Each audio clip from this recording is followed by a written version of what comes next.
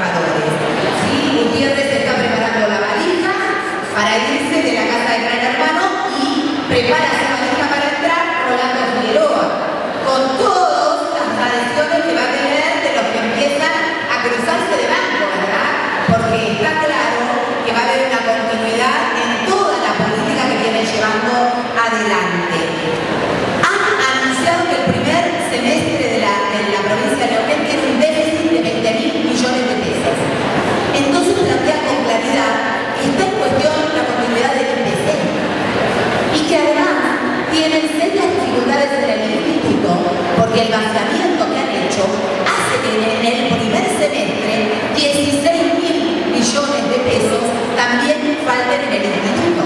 ¿Por qué faltan? Porque se robaron durante más de una década los aportes y contribuciones patronales.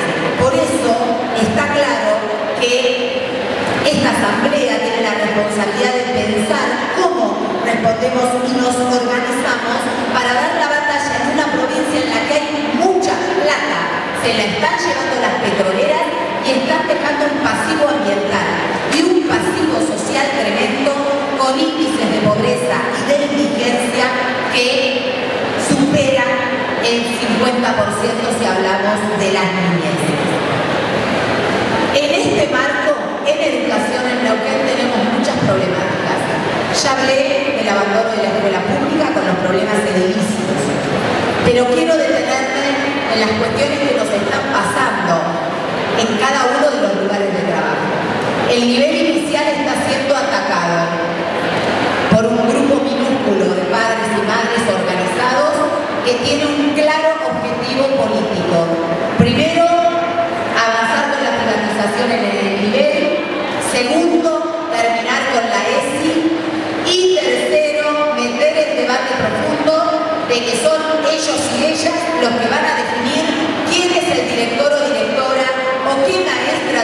o no en los jardines. Y esto es muy profundo, porque es atacar el estatuto del docente. Está claro que ante las denuncias de los abusos defendemos ninguna vulneración de derechos de las infancias, pero también defendemos el derecho de los trabajadores y trabajadoras. Y hay una política de arremeter contra la escuela pública y contra el nivel inicial en Neuquén Capital particularmente, pero ya empieza a extenderse a otras seccionales, como ocurrió en Centenario el otro día o como ocurrió en Rincón de los Sauces. Y también se extiende a otros niveles, como ocurrió en la Escuela 140 de la ciudad de Neuquén Capital. Entonces, atentos y alertas porque el ataque no es solo al nivel inicial,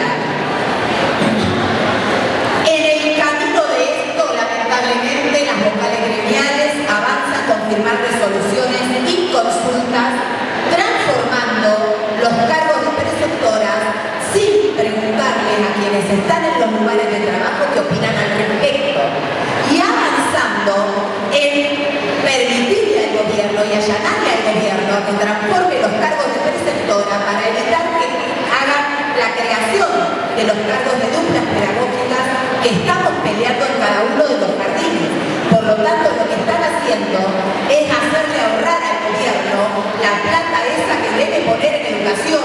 Por lo tanto, las vocales gremiales deben abstenerse de firmar resoluciones sin preguntarle a la base docente, porque están en esos lugares para defendernos y no para unirnos y Compañeros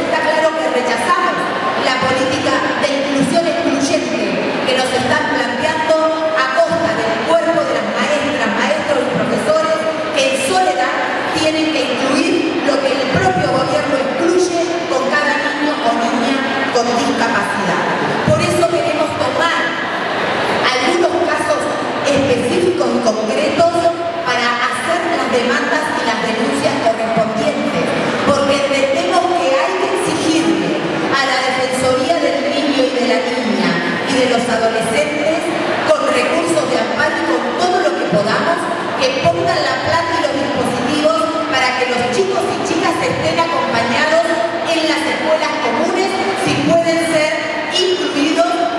tengan acceso al derecho a la educación, como así también el resto de los estudiantes y las estudiantes. La reforma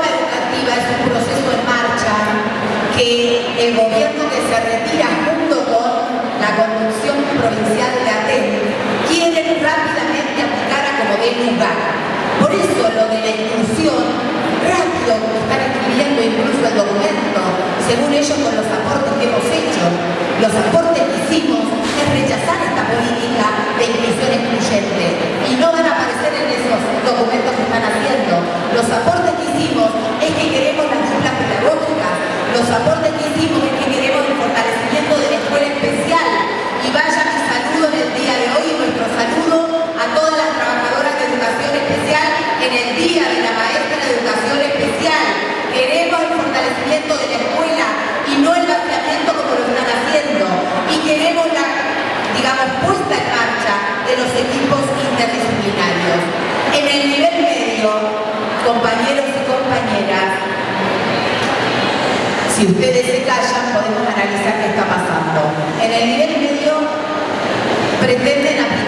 y curricular.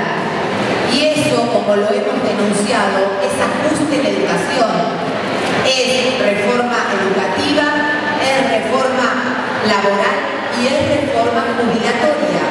Por lo tanto, no solo se atacan las condiciones laborales de los trabajadores, sino que también se ataca el hecho concreto de que cada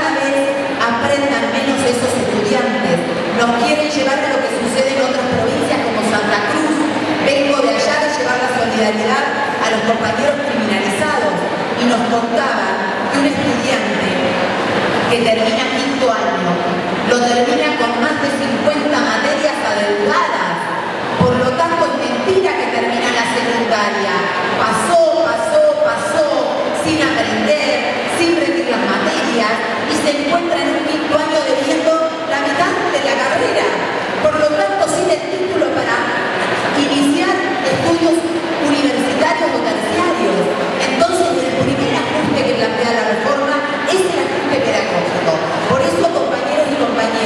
planteamos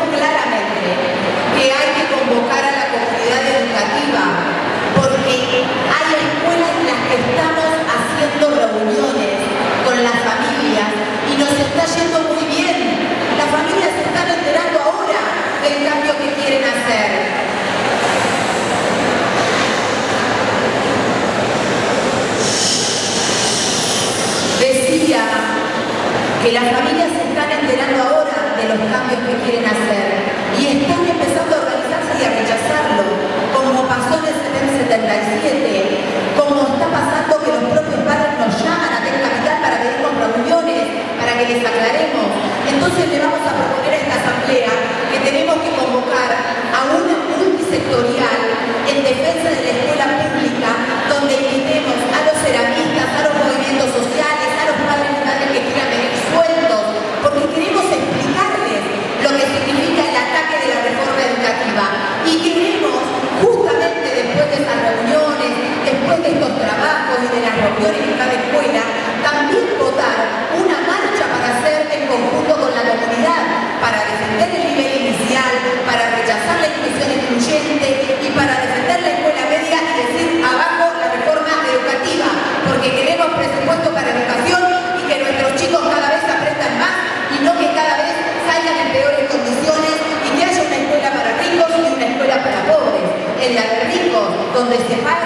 así enseña y en las nuestras vaciamiento total. No aceptamos eso y nos tenemos que poner de pie para enfrentarlo. Está claro que esto solo puede pasar por el acuerdo descarado que tiene la Comisión Directiva Provincial con el Gobierno. Descarado es el acuerdo. A tal punto que solo José Yaya Cafilo lo sale por la televisión. No necesita salir. Si sale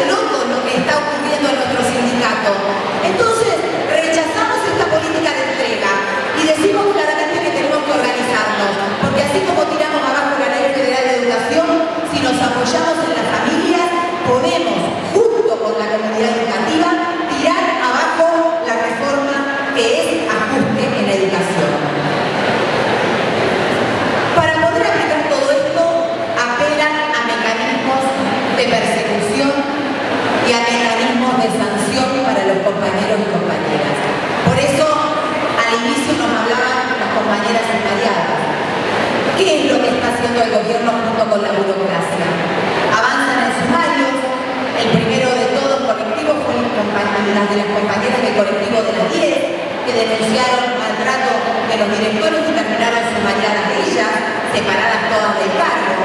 El segundo sumario colectivo, avalado por las vocales, aunque no pusieron la firma porque tenían mucha presión,